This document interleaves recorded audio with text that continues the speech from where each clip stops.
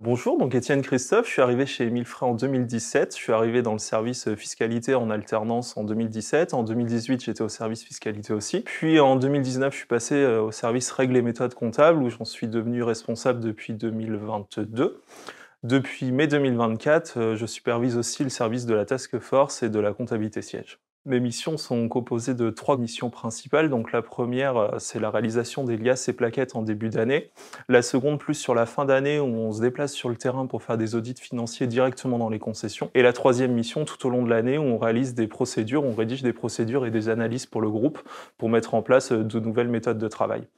Elle me passionne parce que j'adore me déplacer sur le terrain, être proche des équipes et directement au contact euh, des équipes financières en concession. Au niveau des qualités que j'ai pu développer dans l'entreprise, c'est bien sûr un esprit d'équipe aujourd'hui. Euh, et j'ai toujours travaillé en équipe entre 2, 4, 5 personnes à peu près, donc j'ai besoin de cet esprit d'équipe.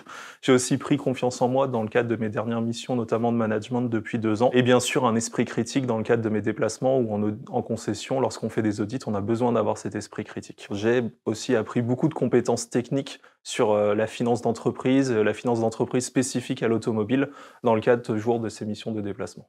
Je dirais à un candidat qui souhaite postuler qu'il faut effectivement postuler à la direction financière d'Émile Frey. On est sur une équipe euh, dynamique et passionnée par leur métier.